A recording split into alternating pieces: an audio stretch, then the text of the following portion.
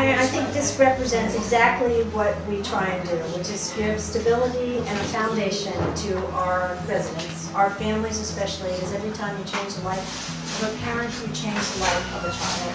So just this little grouping right here makes me feel like this is home.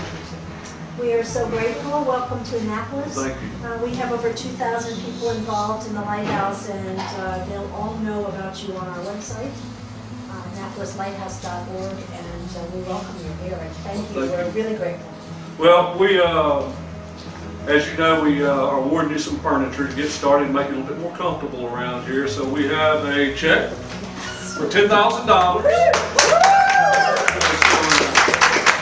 Congratulations.